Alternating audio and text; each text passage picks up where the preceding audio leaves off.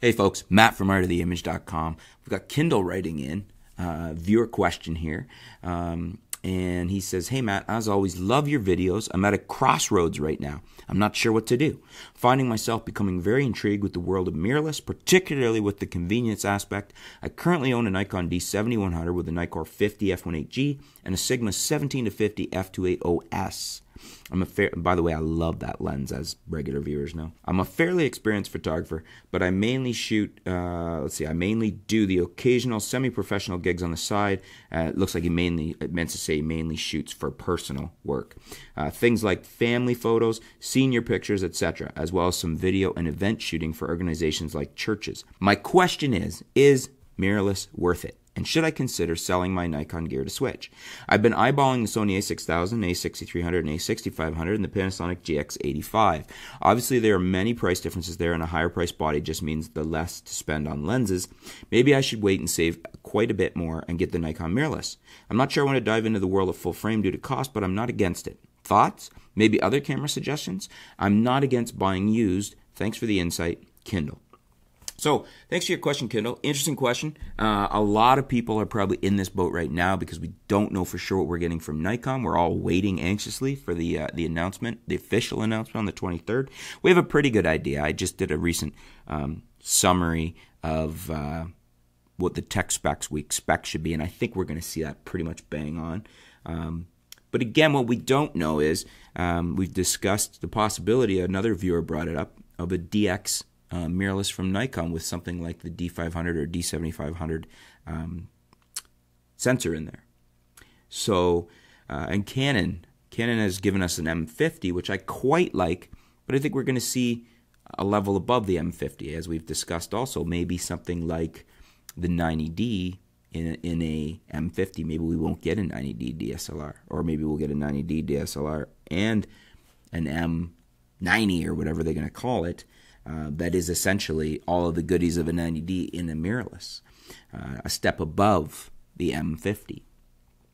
These are a lot of questions that make it hard as, as you're experiencing when you're considering upgrading right now. The fact that you have a 7100, that's a great camera, performs very well, excellent 24 megapixel uh, APS-C, you know, DX Nikon sensor in there. You get some great lenses to go with it. I would I could shoot anything I wanted to shoot right now with that, with a, the exception of video.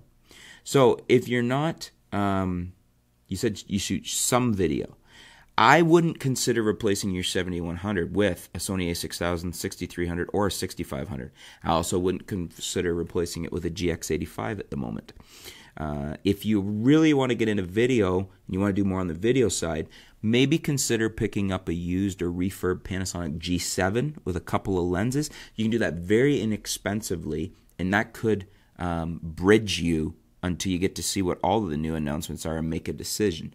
That you could continue to shoot your photography with the 71, use the Panasonic G7 at a very economical price. You could you could pick up that body and some lenses for well under a thousand dollars and get yourself into some really decent 4K shooting. I love the G85 I'm shooting with right now. I'm just thinking for an inexpensive. I mean, the G7 does a lot of what the G85 does at a, at a, a much lower price now because it's been out for quite a while. That's probably what I would do. I certainly wouldn't look at any of those Sonys or the GX85. Um, I just think you're not going to be happy. Those are all older Sonys.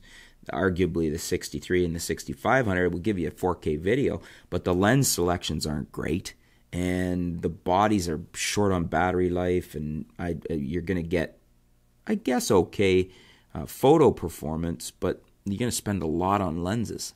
I'd almost rather see you get uh, say, get a Sony A7 III if you're going to go that route. Uh, I would I would do that before I got an A6000 or an A63 or an A65 right now with the way things are and with all these things coming. If you can wait, as I said, by all means, we're expecting a 90D announcement. I'm not exactly sure when. Uh, something above the M50 is coming. A Canon full frame is coming, and then the the Nikon full frame mirrorless maybe something in the lower one will be something you could afford and you'll, you'll like the looks of it so much when it comes out. Um, that's what you'll want. And then you may regret um, having spent your money before then. Considering it's only August 23rd and you are interested in them, I think I would wait at least till then And then if I'm not, if you weren't interested in, in them once they were officially announced, you could look at some options like maybe the Sony A7 III, maybe just adding a Panasonic G7 and some lenses um, for your video side. That's what I would consider. Then you could, if you if you did that, you could wait to see what Nikon and Canon do um, on the crop sensor, the APS-C mirrorless end. We are going to get more of that from Canon. I can't imagine we're not going to see it from Nikon. We just haven't had any announcements yet. That's what I would do. Let me throw it back to our viewers. What would you guys do? Do you agree with me uh, on the options here or what he should do and why?